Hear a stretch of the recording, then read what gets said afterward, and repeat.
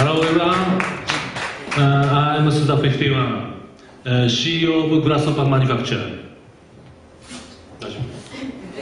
No translation? Okay, yeah. えー今日は皆さんにですね、シャドウ・ザ・ダムの、えー PR に来ました。So I'm here for the PR of Shadows of the Dam today.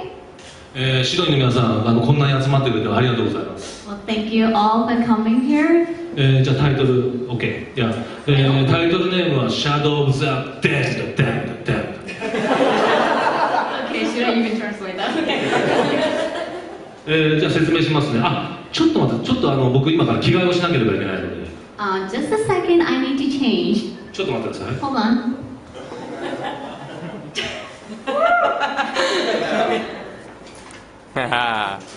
Now he's sporting a Garcia Hotspur jacket. 超やばい。はい。Thank you。お待たせしました。Thank you for waiting. えーこのゲームはですね、あのまあ、僕が来てるガルシア、そしてこの相棒のジョンソンいるんですこの2人の、えー冒険のロードムービーです。This game is a road movie of Garcia with Johnson, his partner. そしてあの僕が分かりやすくこのゲームを説明すると、地獄のパンクホラーですね。This is the punk ro- horror. Ro- oh, sorry, sorry. 地獄のパンクホラーね。ー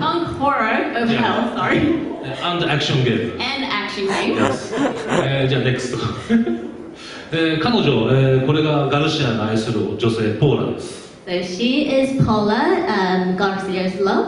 あのすごくシンプルなストーリーです、えー彼女を助けに行くために、えー地獄にいる悪魔を、えー彼を倒しに行きます So the story is very simple. Garcia goes to hell to save the girl. あの本当シンプルなストーリーであの有名なゲームでですねイタリア人が亀を倒しに行くゲームがあると思うんですけども大体それとほぼ同じストーリーです So it's very simple. Um, you might, um, this might remind you of a, a game with an Italian guy trying to save the turtles.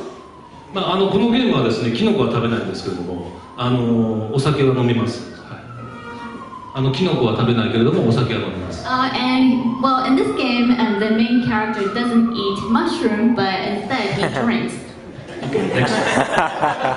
え、でですね倒すのはですねキノコじゃなくて、まあ、こういう悪魔を倒すんですけれども、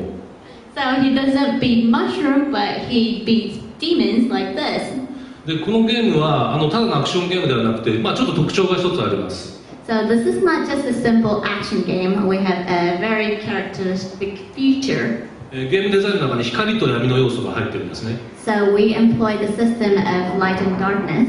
で敵が闇をままとってる時っていうのはですねガルシアが、まあ、光のパワーを使って闇を晴らすそして、えー倒すことができる、まあ、このリズムでゲームはどんどん進行していきます So um, the enemy wears darkness, and Garcia needs to get rid of the darkness to be able to beat the enemy.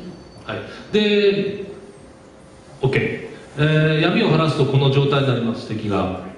Once Garcia gets rid of the darkness, then the enemy becomes in this form, the status. そしてあの銃を使ったりとかあと、えー彼が持っているこのジョンソンの、まあえートーチなんですけどトーチアタックをしたりとか、まあ、あとキックパンチスープレックス、まあ、いろんな技を使って敵を倒します。So um, he can use um, his weapon uh, gun or a Johnson, a kick, a suplex. I don't know how, how to say that in English, but sorry. Uh, wrestling, one of the wrestling movements. そして、えーっとですねまあ、あのザコだけじゃなくて、まあ、今回ボスバトルが4人のボスバトルあるんですけども4ボスバトルがあってそして、えー、大体7回かな7回のボスバトルが用意されています So we have at least seven big boss battles total, and some other mini boss battles as well. で我々あのグラスホッパーが作るあのボスバトルというのは非常にユニークという点であのすごく定評があるんです。けども今回、まあ、ちょっと皆さんお見せするこのボスはですね、まあ、この口のところがですねちょっとハーモニカになってるんですね。なので喋れないんですけれども彼が呼吸するとハーモニカの音がする。So we have good reputation for uh, boss battles, and we uh, it's it's known for uniqueness. And uh, for this boss, um, he has a harmonic in his mouth. So whenever he talks, um, the the sound of harmonic is heard. でまあ、ちなみにあの彼と戦う場所は人間マーケットですね、まあ、人間が売られてる、まあ、市場があるんですけどそこに彼は隠れるんですだけれどもハーモニカの音ですぐバレてしまうまあ、そんなボスバトルなんですね So you can encounter him at this meat market where uh, human meat is sold, and whoops. Um, but um, he hides to into other um, different behind the uh, meat market. But um, whenever he breathes, um, his sound um, is heard, so you, he can't really hide very well. で、えーまあ、これが特徴的な、あ、そうだ、OK えーこれが、まあ、あのジョンソンの使う銃ですね、これがすごく特徴的です。 So this is Johnson, wh- uh, one of the weapons that uh, Garcia uses. でこれが一番シンプルな武器なんですけども、あと2つありまして、要は3つの武器を使いこなして、まあ、どんどんアクションして敵を倒していきます。This is the most simple version of the weapon, and but you have two other weapons. そしてあのカスタマイズもできるので、この3つだけで大体合計8個ぐらいですかね、熊川さんね。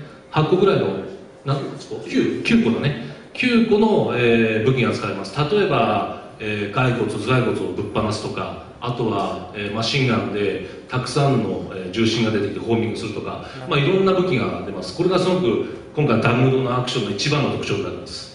So, but this these actually have power ups and customization features. So, um, you, we actually have nine weapons total. Um, one of them um, with uh, the bullet as skulls or the other with homing features. えー、じゃあ皆さんあのぜひあのダムドの地獄の体験を楽しみにしてください。そしてあのあそれ発売日はですね、えー、まずまあこの June 23その前に June 17にまずアリスが発売します。So um, it's coming out on June 23rd in Australia, but first um, we'll get the we'll get Alice on the 17th. で、まずアリスを買っていただいて、1週間でクリアしてください。 So please buy Alice first and complete it in a week.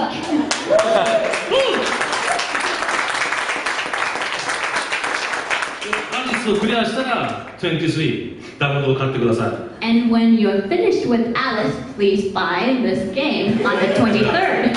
両方とも最高なゲームです。皆さん応援してください、ぜひ。 Both of them are really the greatest games, so please buy them. Thank you very much. Thank you. Thank you.